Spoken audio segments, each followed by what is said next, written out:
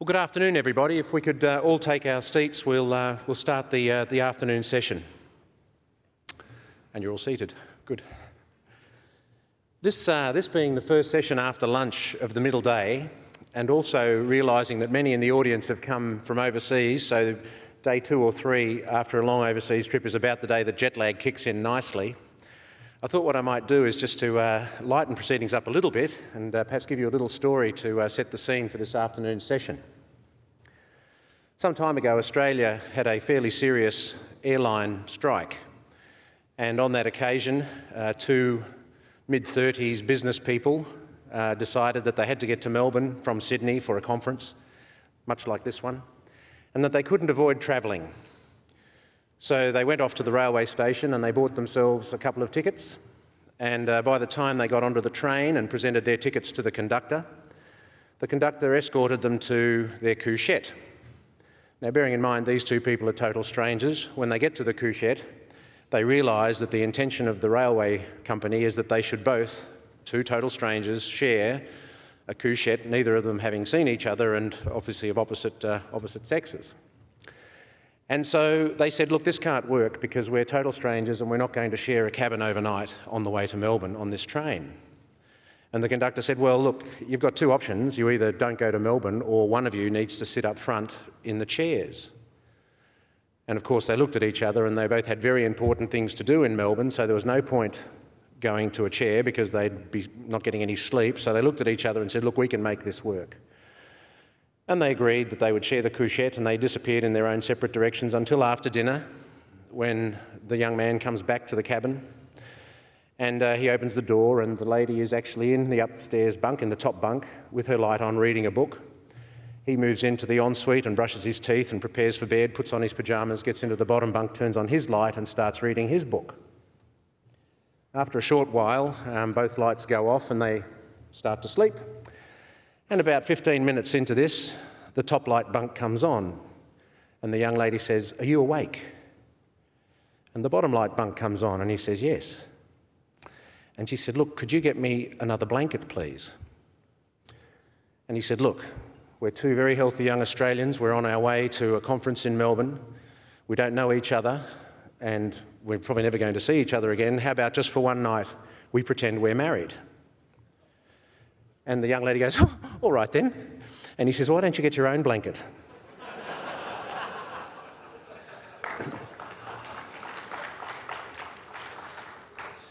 Now, this afternoon's session uh, deals with a very crucial part of our world and one which our own minister referred to many times in his opening address yesterday. What we're here to hear this afternoon is two of our very uh, dear neighbours, uh, Malaysia and Singapore, to present their views on maritime security within that region. The Malacca and Singapore Straits are among the busiest and most critical waterways in the world. With a third of the world's trade and more than half of the world's oil supply carried by some 75,000 vessels transiting the straits each year. The fundamental issue for the littoral states of the straits is that the safety of shipping in its total dimensions, encompassing issues of security, safety, and environmental protection. Major economies such as the United States, China, Japan, and India all have stakes in ensuring that the safe passage of, of shipping through these straits. There has been much concern over the safety of navigation in the straits, but attention has tended to focus on piracy and robbery at sea. Predominantly, littoral states of the Malacca and Singapore Straits were concerned on the implications of maritime crimes in the, states, in the Straits, increasing, increasing shipping traffic and the threats posed to the maritime environment, the high cost of maintaining navigational safety and protecting the environment. Ensuring safe and secure navigation and the care for marine environment are shared responsibilities of the littoral straits of the region, the user states and the shipping industry as well as other stakeholders, many of which are represented in this room. It calls for more effective law enforcement and the maintenance of maritime order. Consequently, the establishment of an effective regime of maritime security, safety and environmental protection in the Straits have received much attention and efforts in recent, in, efforts in recent years. Regional cooperation is an important measure in addressing maritime safety and security. Great cooperation and collaboration among littoral, straits in the, in the littoral states in the straits is evident. Nevertheless, managing maritime safety and security in these straits could at times be very challenging as the diverse nature of interests that are involved take play.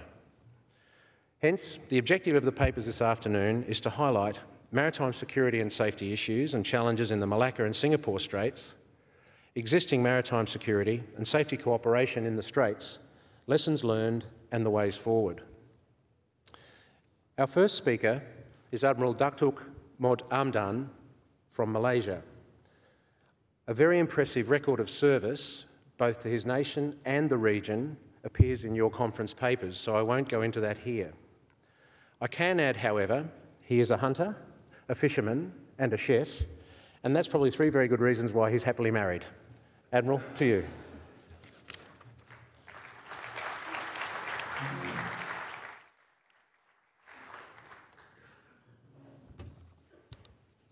Thank you very much, Vince, for that kind introduction. By the way, I would like to uh, inform Vince that he has taken four pages of my introductions to these sessions. So can I go to slide five, please?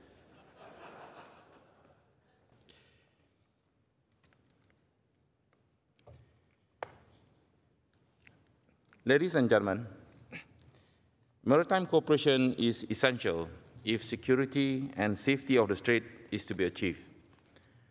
Prominence on cooperation and agreements among regional agencies in combating maritime crimes and building confidence and trust are vital.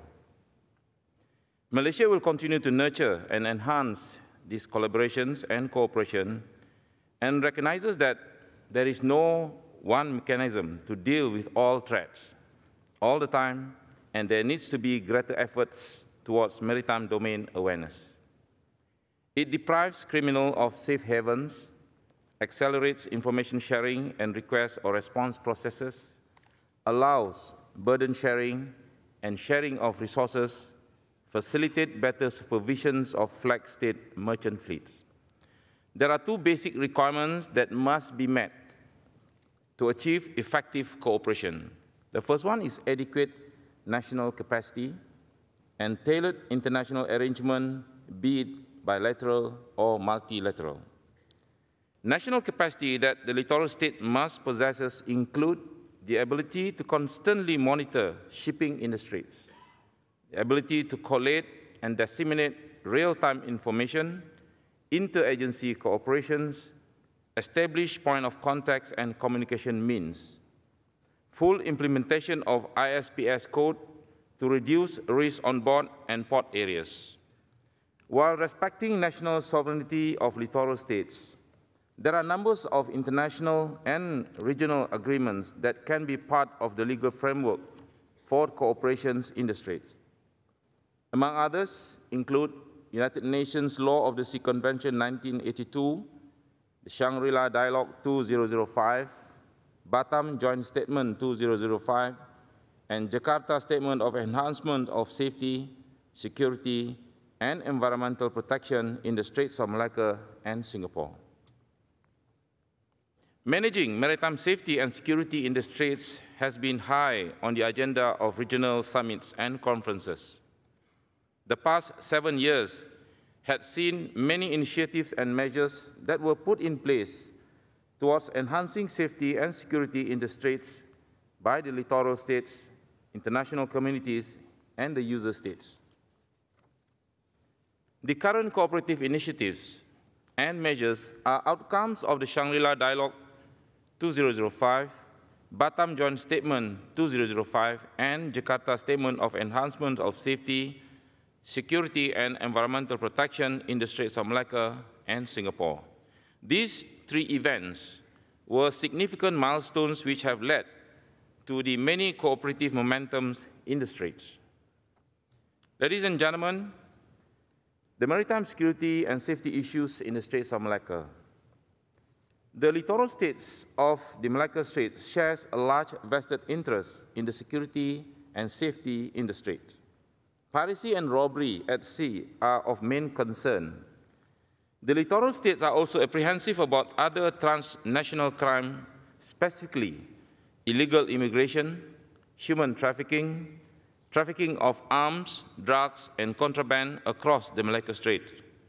Apart from these crimes, the littoral states are equally concerned about the safety of navigations, environmental threats, particularly from shipborne marine pollution, both from the risk of accidental pollution as a result of collisions or grounding, and intentional pollutions from tank cleaning. Piracy cooperative countermeasures. With regards to piracy and armed robbery at sea, last seven years had witnessed tremendous decline in the piratal attacks and armed robbery in the Straits of Malacca and Singapore. From 38 cases in 2004, the menace of piracy and robbery at sea in the Straits of Malacca has been almost completely eradicated to only two cases in 2009 and one, cases, one case in 2010. The reductions was the outcome of enhanced surveillance and effective enforcement by littoral states and active preventive measures by mariners on board. The littoral states of states should feel proud for their continued and enhanced cooperation, which has directly facilitated in ensuring the overall number of attacks is kept under control. In the case of piracies and robbery in the Straits of Malacca and Singapore, various indigenous and regional measures have been taken at national, bilateral, and multilateral levels, levels with support from international communities and major user states. At the national level, the littoral states of Indonesia, Malaysia, and Singapore have all taken steps to address and mitigate the issue of piracy and robbery at sea by enhancing its navies and law enforcement agencies' capacities, establish integrated surveillance and information network, increase patrols and interdictions, there have been efforts at lateral, bilateral cooperation as well among these littoral states. There are bilateral patrols arrangement, coordinated patrols, point of contacts, direct communication links, information sharing, and periodical meetings that have helped cement greater cooperations. Multilateral responses to piracy and robbery at sea has taken shape and contributed significantly to the overall reductions of piracy and robbery at sea in the straits. Relevant activities include the Trilateral Malacca Strait Sea Patrol, or the MSSP, and coordinated airborne surveillance under the Eyes in the Skies arrangement, and the establishments of regional cooperation agreement on combating piracy and armed robbery against ships or ReCAAP. Anti-human smuggling cooperative countermeasures. Human smuggling is a dynamic transnational organized crime. It spans continents, linked to organized crime syndicates, and crosses multiple national jurisdictions. These are increasingly controlled by transnational organized crime syndicates, whose smuggling ventures comprises several aspects. Firstly, the recruitment of passengers. Secondly, transfer through the number of transit points prior to boarding vessels to a third country, for example, Australia or Canada. Third, document frauds. And fourthly, post-departure support that include resupply of vessels during the venture and replacement vessels in the event initial vessels become unseaworthy. Human smuggling networks often work with many different human smuggling organizations in order to maintain security, flexibility, and the agility to ensure success and maximum profits. They are normally independent and only responsible to a small portion of the overall smuggling journey. This loose, fluid nature of the network minimizes its vulnerability to law enforcement interdiction. Each of these aspects presents a potential vulnerability for the syndicates and opportunity for the government agencies for the removal of key individuals in the command and control chain that, was, that would disrupt the syndicate activity. In recent years, the smuggling of human beings across the states of Malacca and Singapore has increased significantly. People are smuggled into Malaysia from countries such as Afghanistan, Iran, Iraq, Pakistan, Syria, and Sri Lanka through the neighboring or source countries and smuggle into Australia, which is one of the final destination country by sea.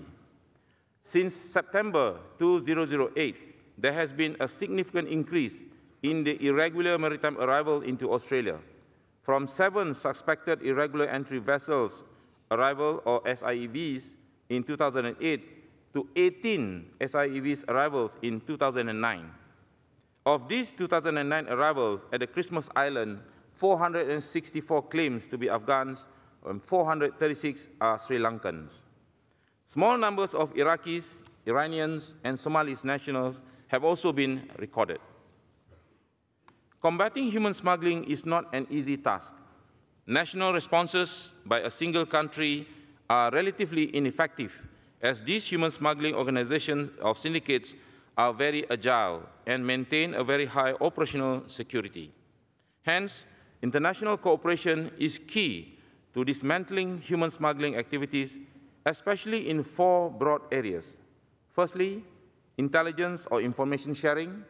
Secondly, border control management.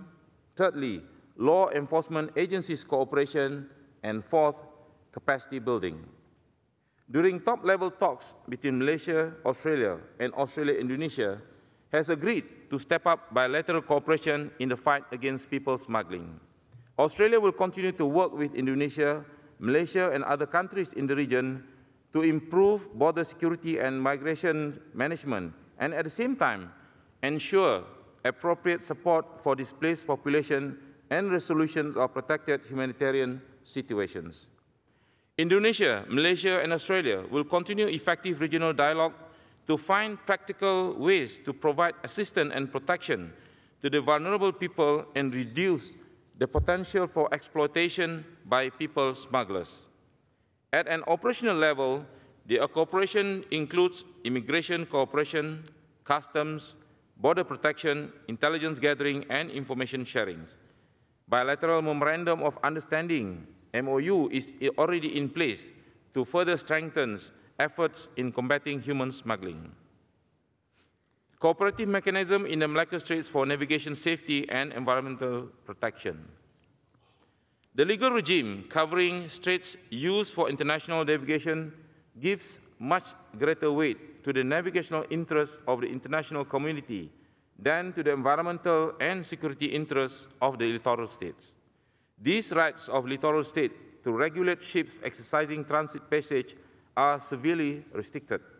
At the same time, littoral states bear heavy burden in the maintenance of navigational safety of ships using such straits.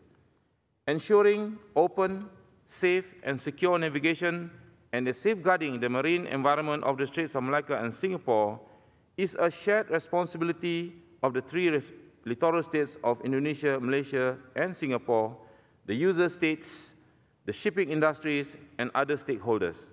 Consequently, the setting up of the cooperative mechanism in the Straits of Malacca and Singapore has paved the way to this burden sharing which embodies cooperation among littoral states, user states, and the stakeholders on a voluntary basis. Cooperative me mechanism in the Straits of Malacca and Singapore is unique.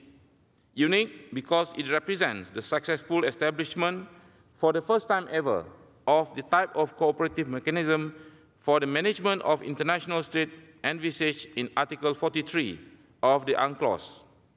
Additionally, its uniqueness is in the diverse diversity of roles played by various actors, that is, littoral states, IMOs, shipping industries, and volunteers in enhancing safety and environmental protection in the Straits of Malacca and Singapore.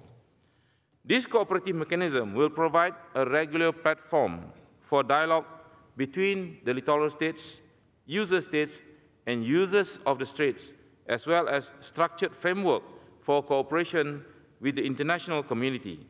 The mechanism facilitates three, the three littoral states, user states, and users of the states to exchange views, jointly undertake projects, and make voluntary monetary contribution through the following three components.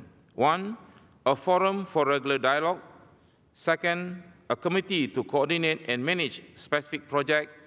And thirdly, a fund to receive and manage financial contributions.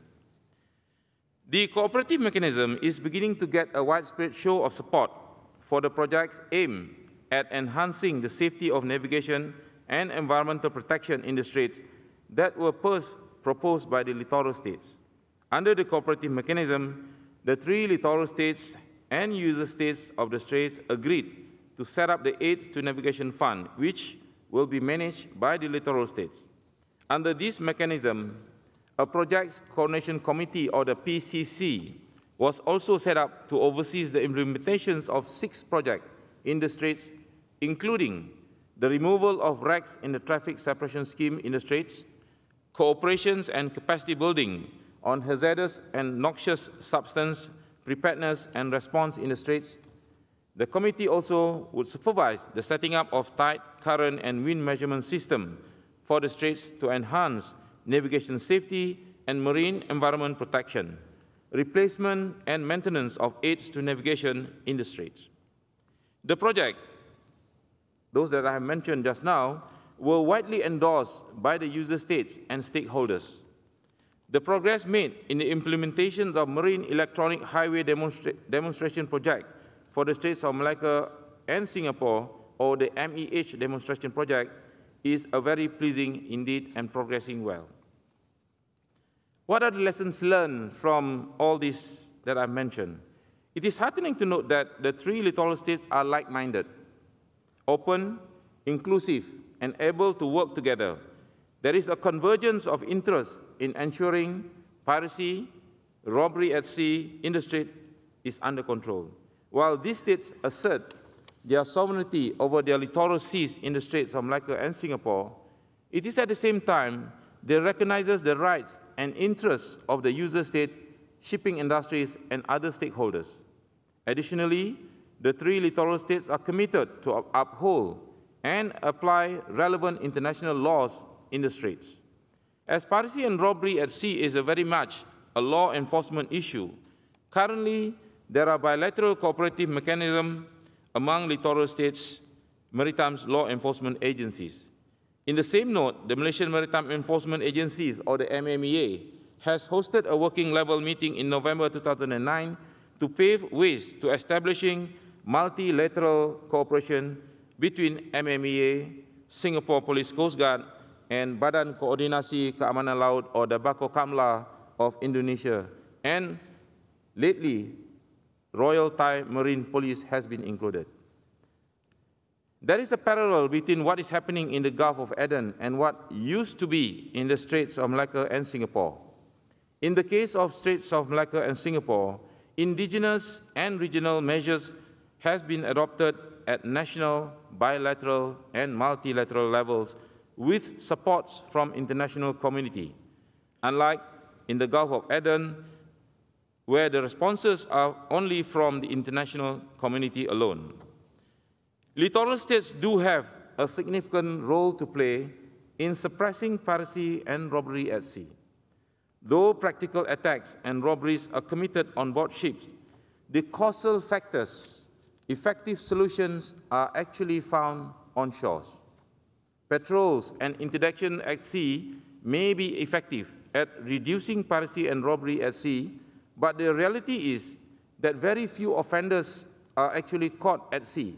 Hence, the more effective solution lies in traditional policing onshore, including developing a picture of their modus operandi, investigations of possible links between piracy uh, or robbery at sea and organized crime syndicates, their financial trails, and interdiction of their nests on shores. There is a need to complement border controls by increasing law enforcement efforts to dismantle the human smuggling networks in the country of origin and transit and through enhanced international law enforcement cooperation between the country of destination, the country of transit, and the country of origin. There is also a need for prosecutors and the judiciary to cooperate across borders to ensure that migrant smugglers are brought to justice in a quick time. Unless the organized crime groups who smuggle people are dismantled, people smugglers will continue to operate and quickly adapt their methods and routes to changing circumstances such as improved border control or changes in the visa regimes. Regional and inter-regional approaches must be fostered as a priority. Without strong cooperation between countries of destination, countries of transit, and countries of origin within and between regions, migrant smugglers will continue across borders without meeting any strong cross-border challenges.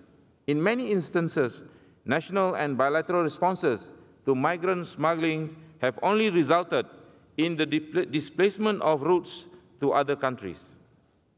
Cooperative Forum in the Straits of Malacca and Singapore is a milestone breakthrough in the efforts of all parties in enhancing safety and environmental protection through the Straits. The setting up of the mechanism is an opportunity to maintain, even strengthen, the already established channel of communications among all parties concerned, thus facilitating a meaningful dialogue for accomplishment of all objectives set. The three littoral states have been able to work together on improving navigational safety and environmental protection in the strait through the Tripartite Technical Expert Group, or the TTEG. The three littoral states are open and inclusive with regards to sovereignty and the rights and interests of user states, shipping industries, and other stakeholders. There is shared interest between littoral state and user states in enhancing the navigational safety and environmental protections of the strait. International law, especially the UN Convention of the Law of the Sea 1982 has set such a balance. While the littoral states are not allowed to obstruct transit passage, neither are flag states exercising the right to the transit passage allowed to threaten the sovereignty, sovereign rights, territorial integrity, and other security, security interests of the littoral state. Thus, the corridor and basis for cooperation has clearly been laid out by the international law. It is also important to set a balance between the interests of different stakeholders, especially different user states. For a long time, Japan was the only user state which was willing to help the littoral state. It is heartening to note, however, that other states such as Australia, China, EU, India, Germany, Greece, Republic of Korea, United Arab Emirates, United States, and international communities such as IMO and the Middle East Navigational Aid Services, or MENAS, have come forward recently in assisting the littoral states. What do I see as a way forward for these gentlemen? As a way forward, the following measures are considered desirable.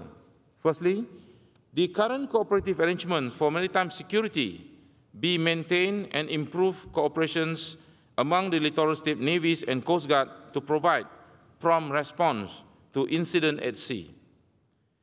Next, there should be a continue to address maritime security issue of the Straits of Malacca and Singapore by taking into considerations of all stakeholders' interests.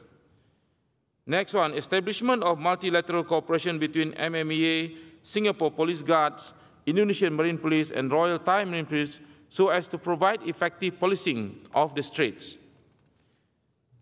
Next was timely information sharing and real-time operational cooperation between littoral states law enforcement agencies. This is something which needs to be uh, stressed upon. As it is now, the uh, timely information that we have received from uh, BPCs especially, the Border Protection Command of Australia, has been very, very beneficial for us to, for us to, en to enforce the appropriate uh, measures in the Straits in helping us to curb the problem of uh, people smuggling. Next is to, for to the conduct of coordinated sea patrols in designated high-risk areas. We have come to understand and we have come to pinpoint several areas in the Straits of Malacca where these activities reoccurs from time to time. So we, felt, we feel that the conduct of coordinated sea patrol in these designated areas of these high-risk areas needs to be enhanced all the time. User states and international community must also help to build littoral states maritime enforcement agencies' capacity to suppress maritime crimes. Article 43 can be successfully implemented in other straits used for international navigation based on the cooperative mechanism in the Straits of Malacca and Singapore. It is also envisaged that we must continue to take a comprehensive and inclusive approach to maintain security, safety, and environmental protection in the Straits of Malacca and Singapore that also recognizes the interests of all users and stakeholders. Since the littoral states have, pre have presented several projects for adoption and many more to follow, the major user states and interested, interested stakeholders will have to continue to contribute to the revolving fund. The interest of the many countries and organizations to share the burden in the maintenance of navigational aids in the Straits of Malacca and Singapore should be supported and enhanced. It, also, it is also hoped that more contribution to the fund would come from other stakeholders, such as from the shipping industries and oil companies, within the context of their CSR or corporate social responsibility, as well as from other environmental groups and international or regional organizations. A balanced emphasis should also be placed on fostering operational relationship between and among littoral states maritime law enforcement agencies to better facilitate law enforcement cooperation as a whole. In conclusion, as global trade continues to grow and shipping traffic increases, the crucial task of maintaining safety, security, and preserving the marine environment in the Straits of Malacca and Singapore grows in tandem. There is therefore the need for continuous and wider cooperations between the littoral states, user states, and other stakeholders of the Straits of Malacca and Singapore to ensure that these vital waterways remain safe and open to traffic. The basis of cooperation in Straits of Malacca and Singapore has clearly been laid out by the international law and international regimes. Therefore, it should be understood that regional cooperation requires reconciling interests of all stakeholders and at the same time recognizing the concern for sensitivity of the littoral states concerned. It is also important to set a balance between the interests of different stakeholders, especially different user states.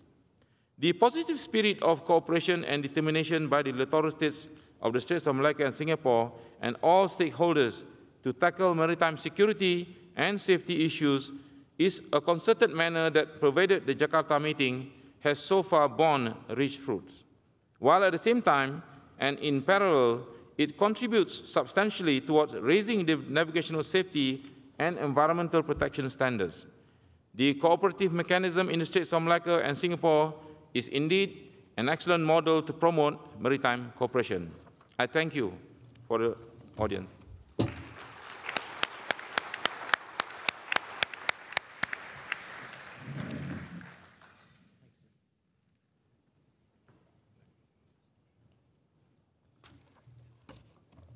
Well, Admiral uh, Datuk Amdan, clearly the Maritime Enforcement Agency of Malaysia is in very, very good hands. That was a remarkably refreshing view which took us well beyond the conventional norms of just worrying about maritime security at sea and encompassing a great deal of other facets that need to be included and considered in the, uh, in the activity if it's going to be successful things that really stuck out uh, in my mind, and perhaps we might uh, explore further in question and answer, was uh, notwithstanding the significant reductions in piracy and robbery, which are in themselves remarkable achievements and a really good indication of what can be achieved with good cooperation, some of the sentences that really stuck out in my mind were that there are many facets and elements in the security business. The effective solution in traditional policing ashore has an essential part to play, and to qualify that observation was that very few offenders are caught at sea. There's, uh, there's a huge message in that, and we might explore that a bit further. Also refreshing to see is the cor corporate social responsibility being mentioned. because it's not just a, a business for navies. That leads us uh, into a partner in this activity, um, one of the three, and that is Singapore. Our second speaker today is, uh, is the Chief of Singapore's Navy, Admiral Ng Chee Peng. He has a most enviable record of operational experience, academic achievement, and staff appointments, again, all which I urge you to read in the, in the, uh, in the conference papers. It's made all the more impressive by a very clear and evident maintenance of a very youthful disposition.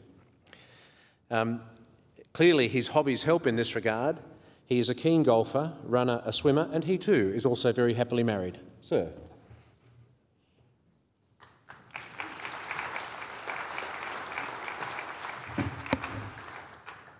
Thanks, Vince, for that uh, introduction.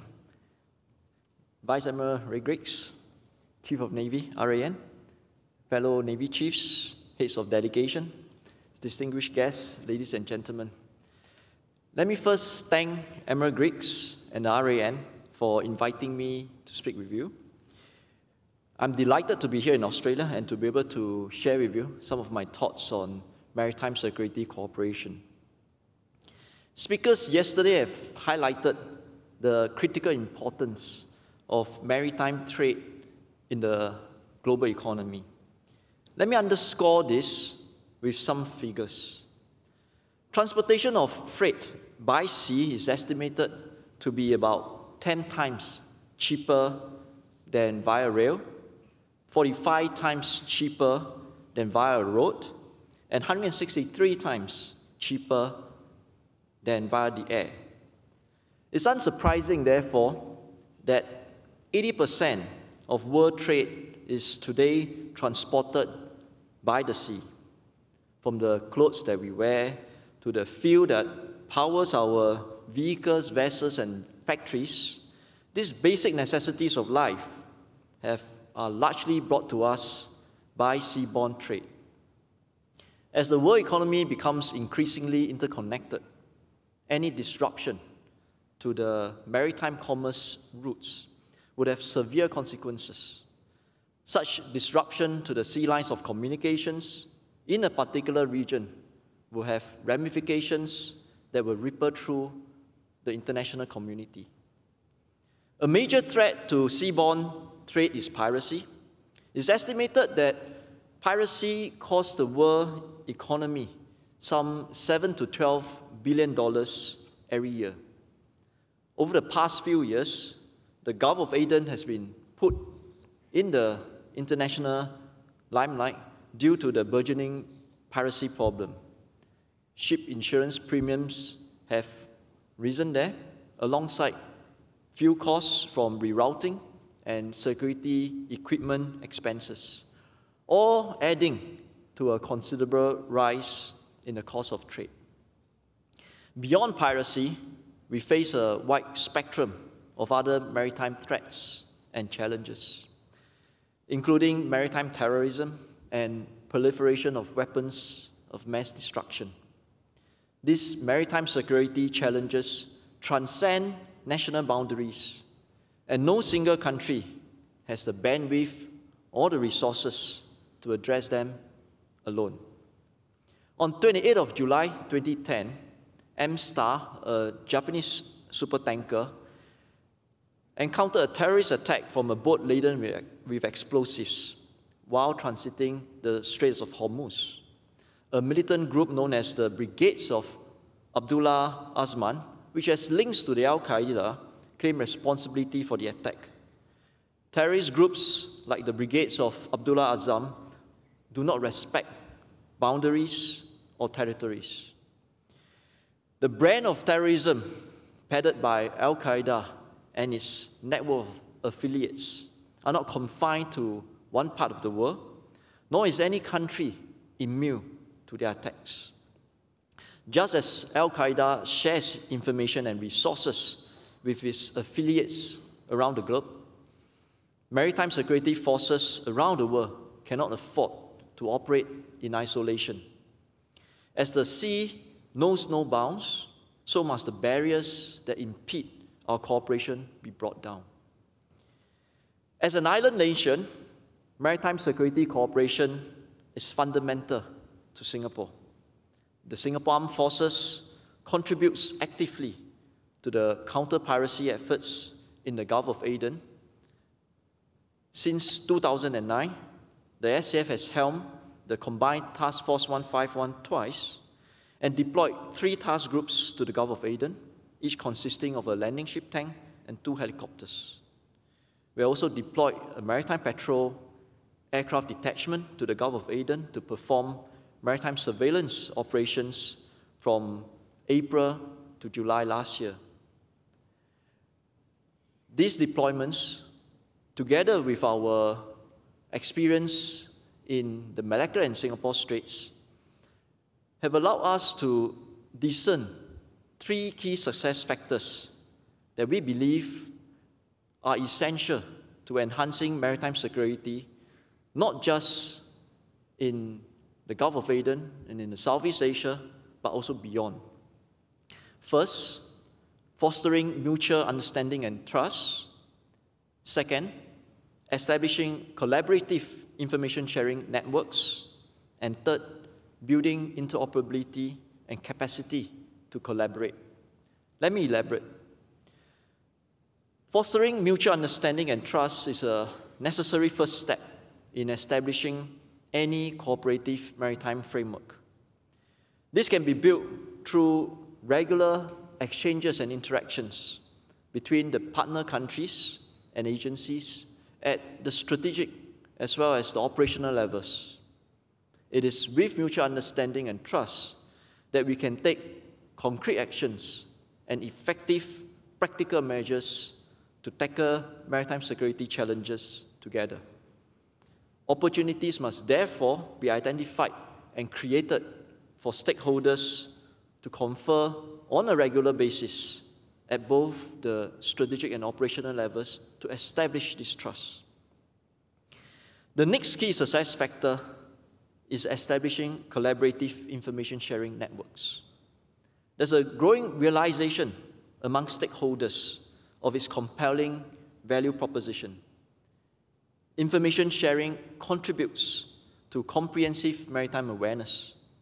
It enables operational responses to be employed effectively to enhance maritime security and safety, provided, of course, that the partners are able and willing to share information. To enable and enhance partners' ability to share, robust command and control information systems or CCIS networks need to be put in place to allow rapid dissemination of information to kill ground operation actions.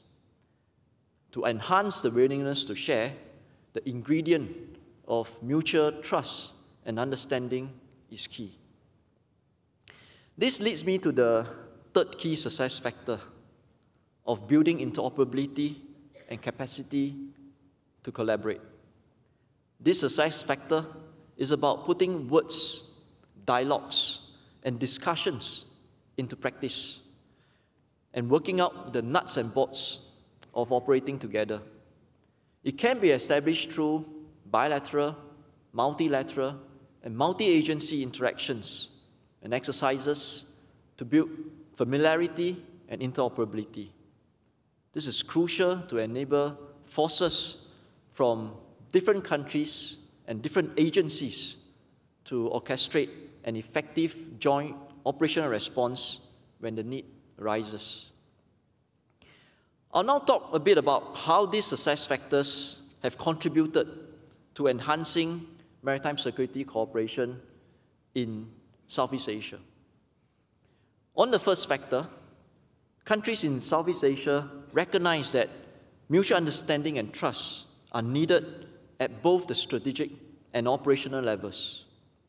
In our region, forums such as the ASEAN Defense Ministers Meeting, the ADMM, and the ADMM Plus, the Shangri-La Dialogue, the ASEAN Navy Chiefs Meeting, and the Malacca Strait Patrols Joint Coordinating Meetings have helped build up mutual understanding and trust amongst the defense ministers the Navy chiefs, right down to the operational commanders. Each of these forums has a unique role and agenda from building strategic confidence, fostering practical cooperation and collaboration, down to ironing out of operational details. But the important thing is that the fundamental principles that underpin these forums are similar and include the commitment to open and inclusive dialogue, mutual respect, and resolving differences peacefully and in accordance to international law.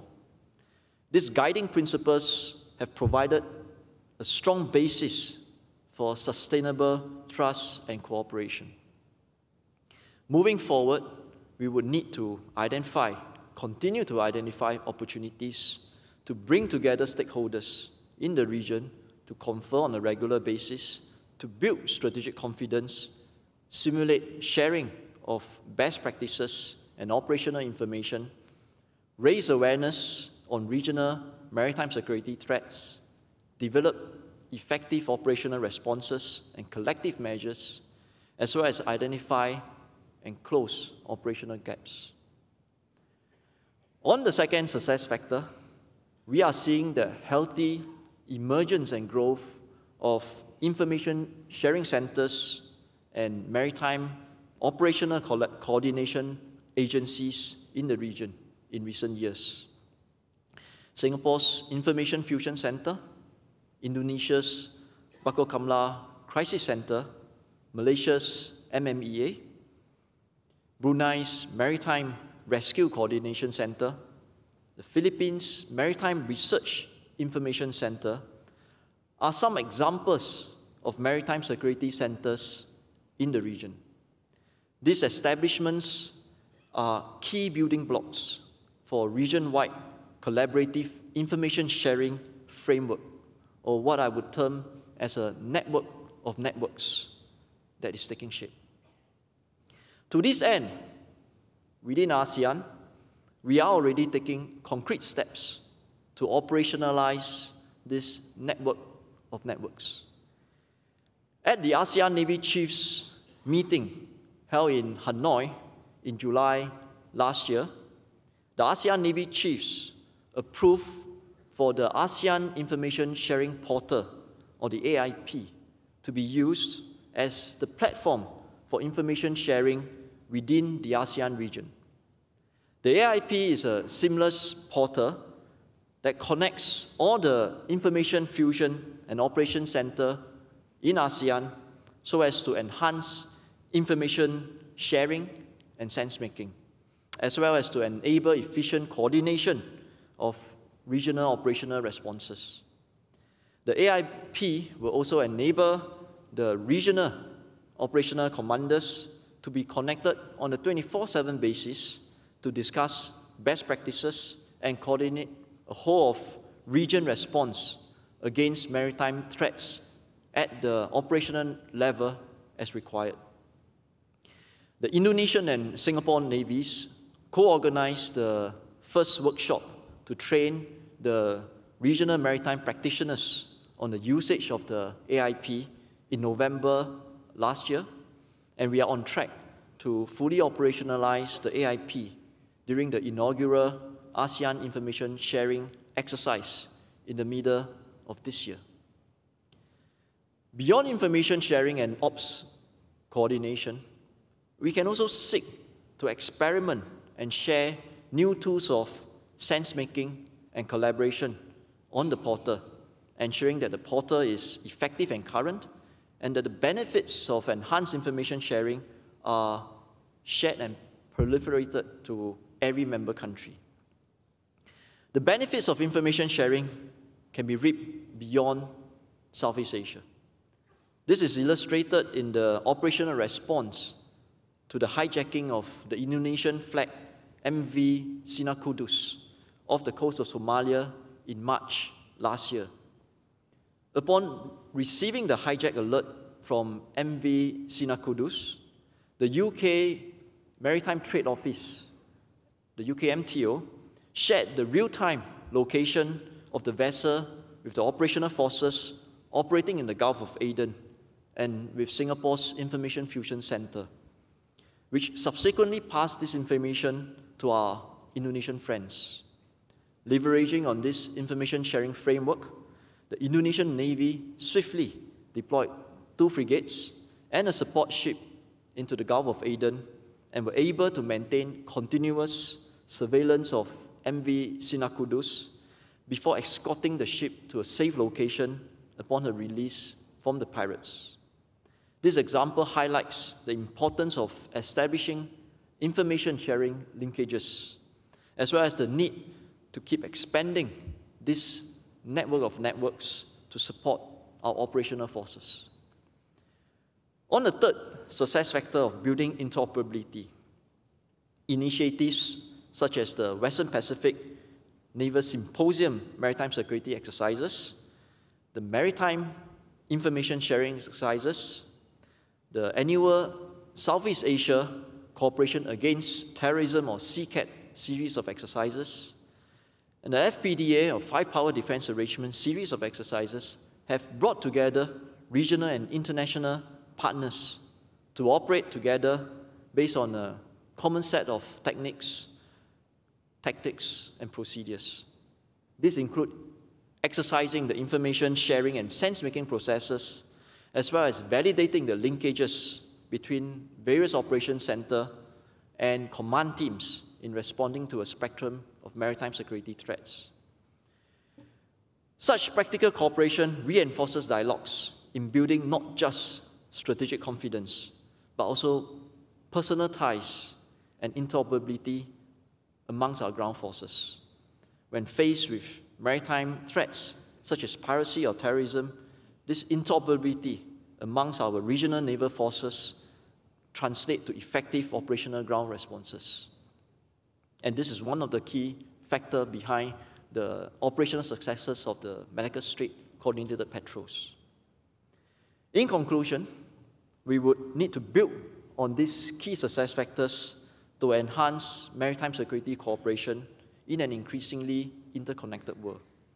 The transboundary nature of maritime security threats require a cooperative and collaborative international response the tenets of fostering mutual understanding and trust, establishing collaborative information sharing networks, and the building of interoperability and capacity to collaborate are key cornerstones for success in tackling the complex and evolving maritime threats. Together, we can make our seas safe and secure for all. Thank you.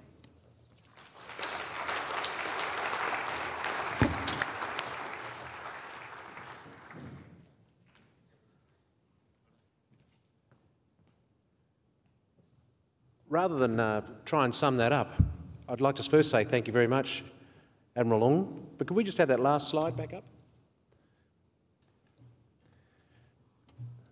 Isn't that one of the most impressive pictures you've ever seen?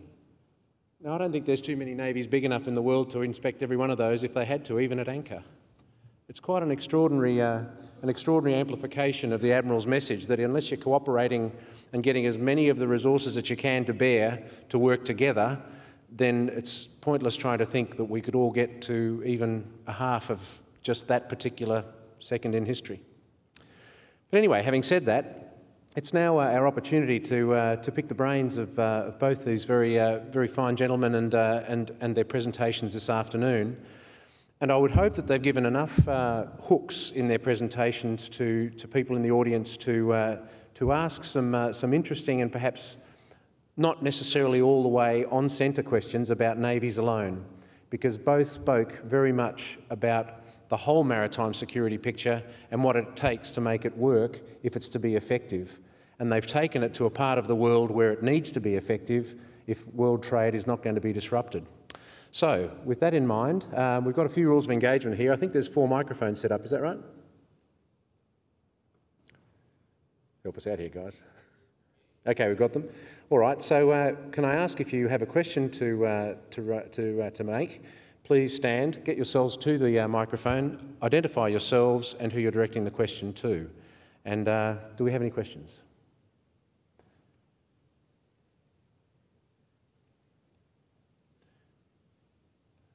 All right, well, where, where is that?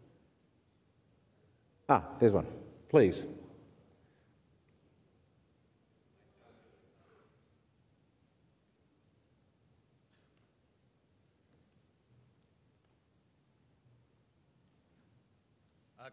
Good, afternoon.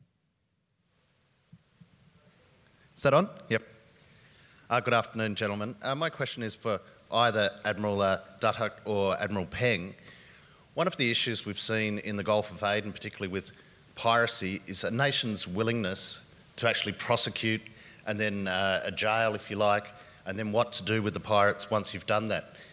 Has the trilateral arrangement uh, made any agreement on how to prosecute pirates uh, within the Straits of Malacca? Thank you uh, for the question. I think we had uh, three examples that we can uh, we can make uh, with respect to prosecution of uh, so-called piracy. I, I, wouldn't like to use the word piracy, especially in the Straits of Malacca. It's more to high seas robberies. And we had three cases which we dealt with swiftly, and that has caught the attentions of uh, a lot of other um, prospective perpetrators who intend to do the same. And I find it is a very uh, a unique thing which can actually put a, a, a, good deterrent if we really prosecute them quickly and impose the penalties and execute uh, what has been given by the court uh, immediately. The three cases are two in the, uh, in the Straits of Johor and Singapore, and one cases in the Straits of Malacca, where we dealt with these cases within 19 days of apprehension. We, uh, we do the uh, investigation, we prosecute them in court, and within 19 days, all the three groups were given uh, 10 years of uh, imprisonment plus 10 lashes, which has sent a very strong message to those people on the ground who intend to do the same kind of activities in the Straits of Malacca. And I find that it is something that must be done continuously. You don't deal with any situation where you prolong things up to one year, two years. That does not impact, does not give any great impact to those people who have the intention, the bad intention of doing things. But if you do that within a short period of time, I think that will give a great impact. Uh, we don't have any special arrangement within our the three countries, the Torres Strait, between Malaysia, Singapore, and Indonesia for that matters. But uh, the three cases that I mentioned just now was cases handled by Malaysia. I'm not sure about Singapore's. Uh, just, to add, just to add on to what Dato Amdan uh, is saying, I, there's a key difference between the Gulf of Aden and the Strait of Malacca in Singapore. Uh, and we are fortunate that we have strong states in our part of the world um, that have robust legal regimes and enforcement agencies that can prosecute um, any perpetrators, perpetrators out there that we catch and bring them to a legal finish. That's important. It sends a very strong deterrent message and also deals effectively with the people that uh, are captured. That's a key difference. Whereas in the Gulf of Aden, you lack such a, a regime and the states that can prosecute, which is why you have issues of what you do with the pirates thereafter.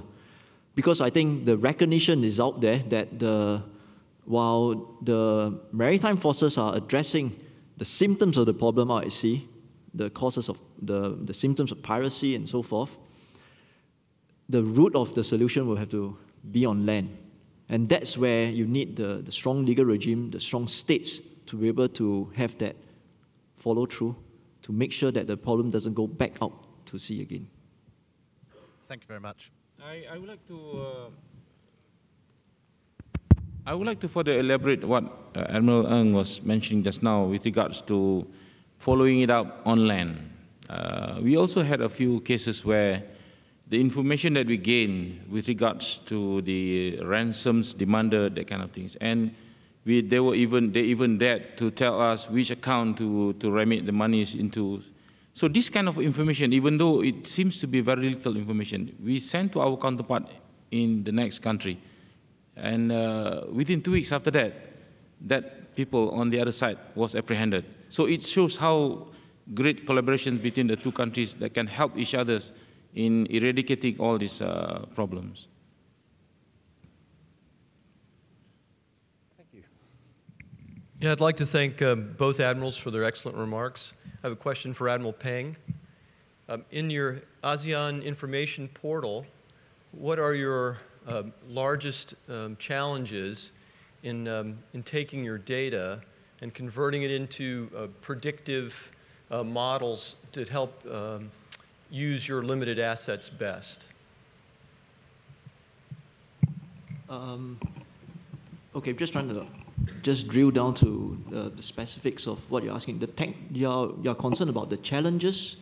Uh, well, technical challenges, I don't think is, is what you're asking for. Technical challenges, I think those are things that uh, we can deal with uh, in terms of being able to build uh, an information portal, uh, internet protocol based and so forth.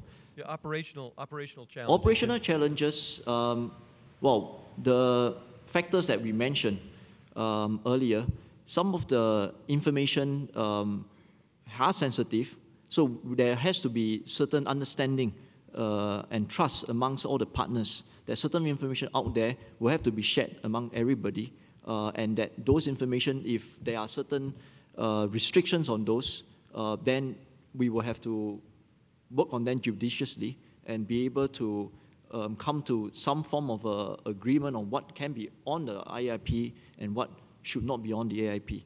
Um, but those are issues that, by and large, we are able to work out um, through years of operating together, uh, and we have a certain sense of understanding among all the agencies what are the things that we ought to be out there and what are things that shouldn't be out there. Uh, thank you. Any other questions? Thank you.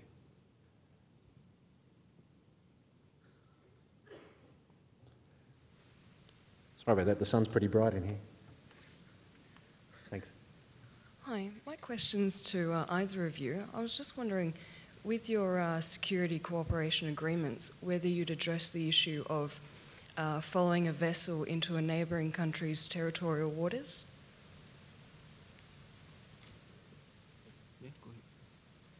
Uh, as it is now, we don't have any problem with that. uh, the cooperative mechanism that we have established in, in, in, in this region between the three states has clearly indicated our willingness to work together.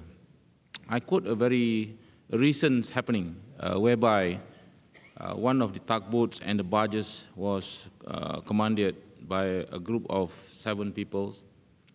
And on pursuing this barge and boats, this barge enters Indonesian waters in which there is no agreement between Malaysia and Indonesia for uh, hot pursuit. There's no agreement between us. So what we immediately do was just pick up the red phone. We call up the head of a Bakorkamla on the other side in, in Jakarta. I am pursuing a ship which has positively been identified, being commanded by a group of people entering your waters now. Can I have immediate permission from you to enter your water to prosecute? Yes, you can do it. So we did, we did that. And our navies went into and prosecute the thing, and they, they apprehend the, uh, the vessel seven miles inside Indonesian waters. So that shows how, how fast, how collaborative form of uh, understanding can be worked out between the neighboring littoral states. So we don't have any problem of crossing. Uh, it's just a matter of asking permission and the understanding is there. I just just want to add to that. Um, this is where the factor that I mentioned of mutual understanding and trust is, is critical. It's also similar to the question that was asked on the AIP. You need to have that mutual understanding and trust for this operational, co collaborative, and cooperative frameworks to be successful. Uh, and that's something that you have to build over time, over the years, and through regular interactions so that when things happen, you can pick up the phone and know who is on the other side, know who you're talking to, and you can get certain things done. You need that understanding and trust. Um, you can build all the um, CCIS, the information systems and so forth, but the key ingredient is that trust and understanding to be able to optimize it and maximize the systems. Thank you.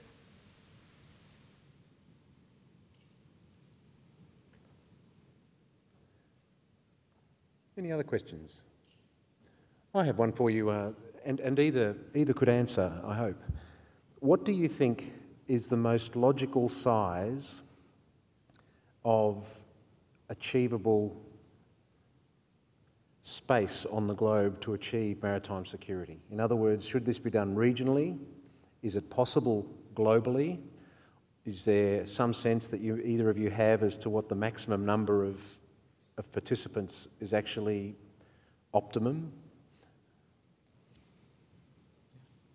Okay, please. Um, I think you have uh, models that are regional as well as models that are quite global in nature. And in practice, um, mod, such models, whether it's global or regional, have worked well. The Malacca Straits um, Coordinated Patrols is uh, an example of a model on a regional scale.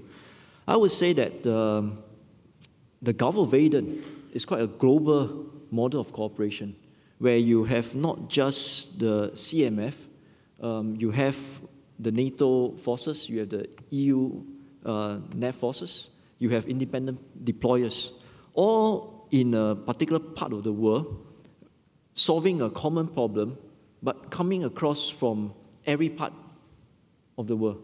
And that's, I would say, you know, is, is more of a, a global model of cooperation, not just a, a regional, uh, littoral-based type of model. So I think whatever um, models that we may have in place, what is important is what is effective for that circumstance and for that particular region and time. If it works, it works. I, uh, I particularly agreed with uh, what Admiral Ernst was saying. Uh, we, we don't really actually look at a model to, to really fix ourselves into doing things according to that model, according to this model. No.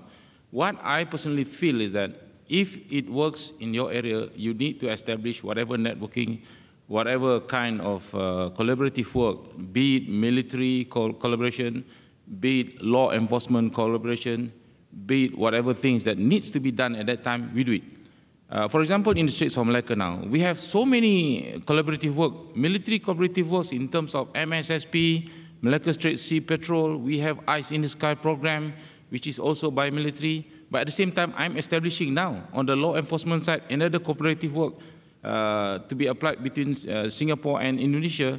So whatever feel, whatever things that we feel that it must be done, it should be carried out and it should be uh, on, on, on the uh, receiver end by the, our, our partners on the other side. They should be agreeing to it. So we mutually agree to certain thing that we must do together. One may um, probably in the military perspective, another group is in the uh, enforcement law enforcement perspective.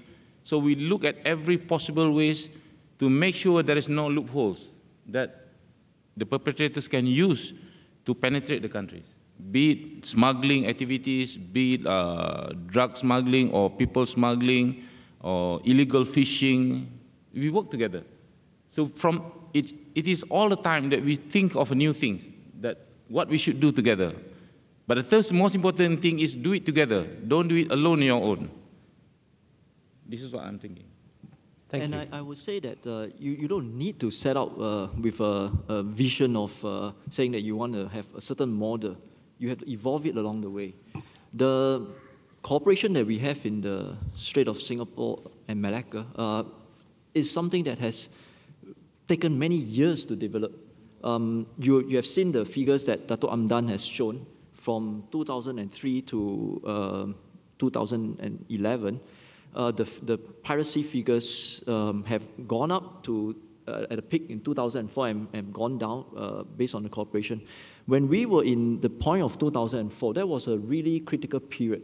Um, Lloyd's declared um, the Strait of Malacca to be a war risk zone absolutely escalated the insurance premiums.